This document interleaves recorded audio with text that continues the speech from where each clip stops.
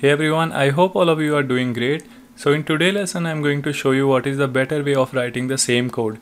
Now this code looks perfectly fine when you are working with very small code okay so as of now this looks perfectly okay. It is neat and clean but uh, trust me it is going to get very ugly if you need to write the complete code and you need to write maybe probably uh, hundreds of lines of code. So what we need to do is rather than using this what we are going to do is we are going to arrange it in a better way. So going forward we are going to follow that example. So if you want to add more cells in this you can just click on plus code. And what is going to happen is now you can see there is a new cell which has come. So first of all i'm just going to copy paste everything and then we are going to make changes here. So now you can see in our api we have two parts. We have a part which is going to be always static. So here you can see until here it is always static. Uh, this is the api and then we have some parameter data which we are going to pass to this api okay so rather than uh, using this what we can do is we are going to break it and we are going to call it a base url so base URL is going to be the URL which is not going to change. So for example, in this case, what uh, we are going to do is until here, we are I'm going to cut it and I'm going to paste it here. Again, we need to make sure whatever the string we enter, we need to enter in double quotes.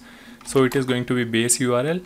And now uh, in order to pass all the parameters, I'm going to use uh, parameters and I'm going to say parameters is equal to and then we need to use dictionary. So if you know about Python dictionary very good. If you don't know you don't need to bother. Just you need to make sure you use curly braces and then you need to set whatever the data you want to pass. So for example as we saw in this telegram uh, get updates we want to pass this parameter which is offset. So we need to write offset here. Again it needs to be in double quotes. And then we need to use colon and then we need to uh, write the data which we want to write. So for example in this case again I'm need to use double quotes. And then we wanted to pass this offset ID so I'm gonna cut it and gonna paste it here. So now this uh, piece of line these two piece of line is exactly the same as writing this line okay? Even though we have increased the number of lines but this data is going to be more cleaner. And especially when our code is going to increase you will be noticing that this is going to give you more visibility and going to make your code uh, clearer. You'll be able to understand your code better. And then eventually it is going to help you when you want to troubleshoot the code or you want to fix the code when you face any issues. Now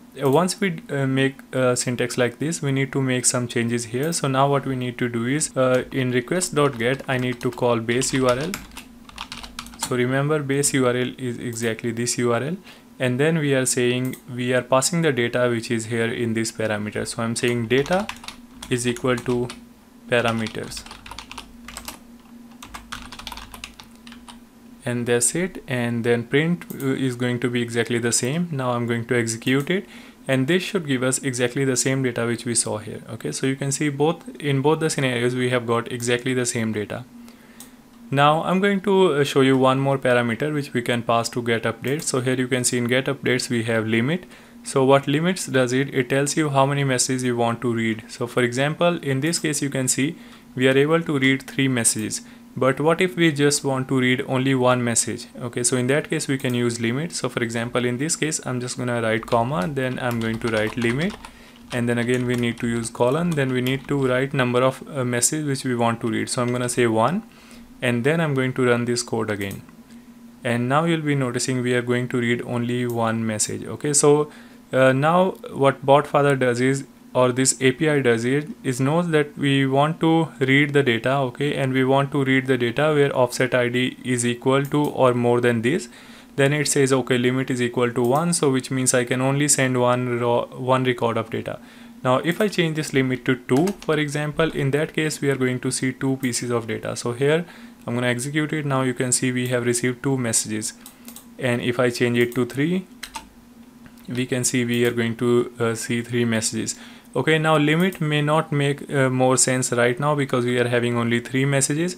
Now what if you are part of the groups where you see thousand of messages okay? And at any point of time you want your program to handle only 100 messages or in increment of 100 messages you want your program to read all the messages. So you don't want to read 1000 messages in one shot because probably your code will not be able to handle those functionality or the processing. So you can limit the number of messages which you want to read now if the same thing which you had to do here what you can do is you can again uh, use ampersand. So if you want to uh, pass multiple parameters here you need to separate one parameter to another by using ampersand.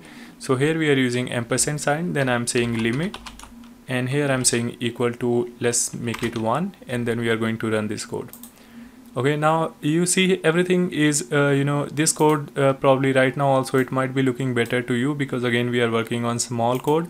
Now just imagine if I had to pass hundreds of parameters or probably 20 of parameters or even 5 parameters this string is gonna look very longer okay longer and longer.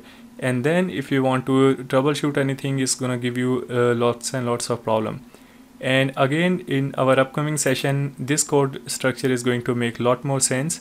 So from uh, now onwards we are just going to use this structure whenever we are going to call an API so that's it in this lesson. See you again in the next lesson